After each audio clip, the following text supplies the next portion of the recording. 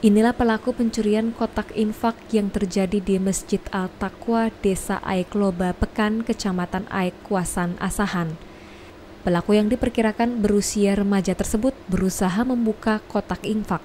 Karena tidak berhasil, pelaku melanjutkan aksinya kembali dengan masuk ke dalam masjid dan berusaha keras membongkar kotak infak yang terkunci.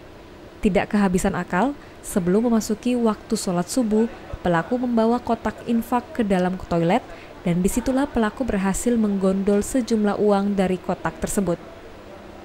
Ketua BKM Masjid mengaku pencurian kotak infak sudah pernah terjadi beberapa kali di masjid tersebut.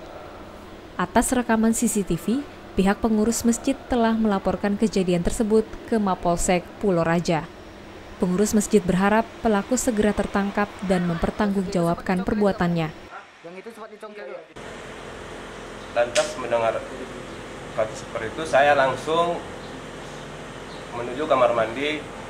Dan salah setelah saya jumpai memang kebetulan kotak impak itu memang berada di kamar mandi. Dan setelah saya buka memang isinya sudah kosong tidak ada lagi. Perkirakan ada duitnya dalamnya itu saat itu? Perhitungannya biasanya kalau kami kami kan pembukanya satu minggu sekali. Kebetulan dia lebih dulu membuka dia lebih dapat satu juta lebih kurang. Dari Asahan, Sumatera Utara, Rashid Rido, Tribrata TV, Salam Tribrata.